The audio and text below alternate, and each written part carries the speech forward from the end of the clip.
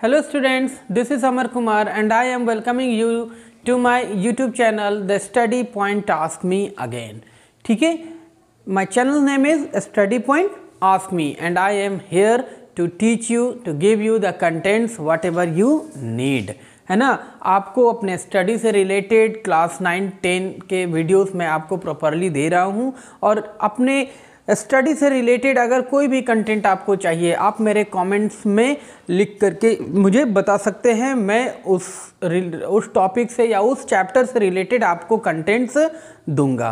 किसी जब मैं मोशन पढ़ा रहा था क्लास नाइन का तो किसी स्टूडेंट्स ने मुझे मैसेज किया था कमेंट बॉक्स में लिख करके sir can you give me videos from gravitation chapter and as you can see I am here with the chapter gravitation और ये मेरा आई थिंक ये मेरा सेवन्थ और एट्थ वीडियो है ग्रेविटेशन चैप्टर से। And today I am here with a very interesting and the important topic buoyancy in my last video I taught you about the thrust and pressure मैंने अपने videos में last videos में thrust और pressure के विषय में, मास और wait के विषय में पढ़ाया था। और आज मैं आप लोगों को पढ़ाने जा रहा हूँ बॉयंसी ठीक है? What is the meaning of buoyancy buoyancy का मतलब क्या होता है? कि whenever an object is immersed in a liquid जब कभी किसी ऑब्जेक्ट्स को लिक्विड में इमर्स किया जाता है, यानी कि लिक्विड में ऑब्जेक्ट्स को डुबोया जाता है the liquid exerts and buoyant force तो लिक्विड जो है, वो नीचे से उस ऑब्जेक्ट पर एक फोर्स लगा रही होती है. This is called the buoyant force ठीक है? और the up thrust in the opposite direction of gravitational force जब हम किसी ऑब्जेक्ट्स को लिक्विड में डीप कर रहे हैं तो उस पर ग्रेविटेशनल फोर्स भी वर्क कर रहा है, वो उसको नीचे खींच रहा है, लेकिन लिक्विड जो है उसमें, जिसमें हम लोग उसको डुबो रहे हैं, वो ग्रेविटेशनल ऑफ़ फोर्स के अपोजिट में ऊपर की ओर उस ऑब्जेक्ट्स को क्या करेगी? धक्का देने की कोशिश करती है, एक फोर्स लगाती है उस ऑब्जेक्ट्स पर।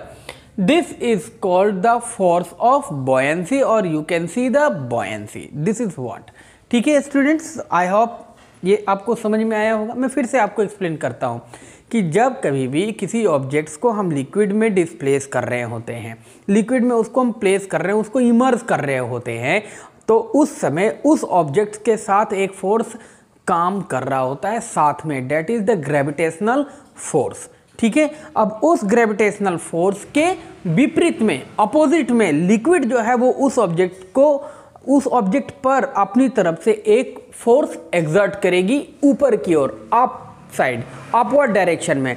This force is called the force of buoyancy और you can see the buoyancy ठीक है? It depends upon the density of the fluid ये डिपेंड करता है उस फ्लूड की डेंसिटी पर।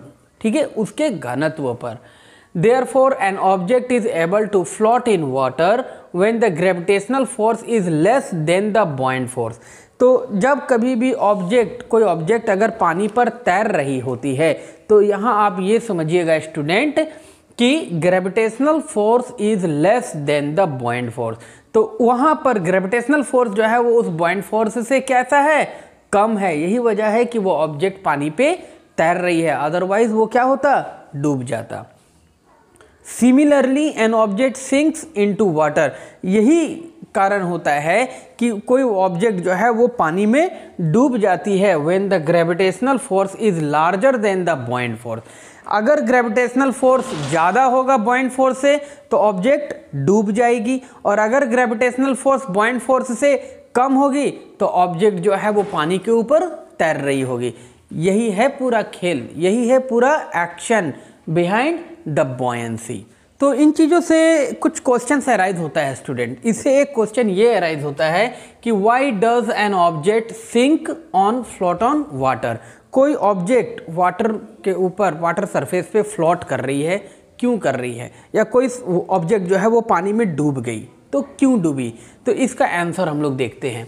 एन ऑब्जेक्ट कैन सिंक और float on water based on its density with respect to water कोई भी ऑब्जेक्ट पानी पे तैरती हो या कोई भी ऑब्जेक्ट पानी में डूब जाती है, ये टोटली डिपेंड करता है density of water and the density of that object दोनों की डेंसिटी क्या है? उसके ऊपर.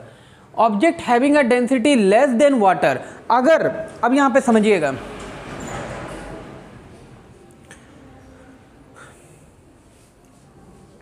Second point is here object having a density less than water अब इसको समझिएगा स्टूडेंट कि अगर ऑब्जेक्ट का डेंसिटी वाटर के डेंसिटी से कम हुआ इट विल फ्लॉट तो वो तैरेगा। जैसे एग्ज़ाम्पल में हम लोग लेते हैं cork floats in water cork आप लोग जानते होंगे, हल्का ये थर्माकोल आप लोग ले सकते हो। थर्माकोल को अगर आप वाटर सरफेस पे वाटर बॉडीज में डालते हैं इट विल नॉट सिंक वो नहीं डूबेगा। क्यों नहीं डूबेगा? क्योंकि उसकी डेंसिटी वाटर के डेंसिटी से कम है। तो अगर ऑब्जेक्ट की डेंसिटी वाटर की डेंसिटी से कम होगी तो वो डूबेगा नहीं, वो तैरेगा। ये हुआ। Object having a density larger than object और अगर उस ऑब्जेक्ट का डेंसिटी वाटर के डेंसिटी से ज़्यादा हुआ स्टूडेंट तो वो डूब जाएगी। है ना? ये श्योर है। ठीक है, जैसे कि एग्जांपल में iron nail sinks in water यहाँ पे आयरन नेल के कंडीशन में हम देखेंगे कि आयरन नेल्स का डेंसिटी जो है वो वाटर के डेंसिटी से ज़्यादा था। इस वजह से वो क्या हो गया? डूब गया। ठीक है? तो we can conclude that the buoyancy depends upon तो हम अब इन एग्जाम्पल्स से ये समझे कि बॉयंसी जो है वो किन चीज़ों पर, किन पॉइंट्स पर, किन फैक्टर्स पर डिपेंड कर रहे हैं। तो it depends upon the density of liquid. पहला, लिक्विड का डेंसिटी क्या है, कितना है, कैसा है, इस पर डिपेंड करता है। दूसरा वॉल्यूम ऑफ़ द ऑब्जेक्ट उस ऑब्जेक्ट जो भी ऑब्जेक्ट हम लोग ले रहे हैं, उस ऑब्जेक्ट का वॉल्यूम क्या है, इस पर डिपेंड करेगा। So there are two points first one is density of water and the second one is the volume of that object these two objects on which the buoyancy depends upon I hope ये मेरा आज का जो contents जो topic मैंने आपको दिया students buoyancy पर, मैं उम्मीद करता हूँ कि मेरा दिया हुआ ये कंटेंट आपको बहुत अच्छे तरीके से समझ में आएगा। ठीक है स्टूडेंट्स? और मैं साथ ही साथ ये चाहूँगा कि आपके जो भी जो फ्रेंड्स या कुछ और ऐसे लोग जो जिनको इन कंटेंट्स से बेनिफिट हो सकता है, मैं उम्मीद करता हूँ कि आप मेरे इस वीडियोस को उन तक पहुँचाने में मदद करेंगे। और जो भी स्टूडेंट्स अभी तक मेरे चैनल को सब्सक्राइब नहीं किए हैं, मैं उन सभी को रिक्वेस्ट कर रहा हूँ कि please subscribe my this channel and try to continuously watch my videos अभी तक मैंने बहुत सारे वीडियोज़ अलग अलग टॉपिक अलग अलग सब्जेक्ट्स अलग अलग चैप्टर से मैंने आपको प्रोवाइड किए हैं।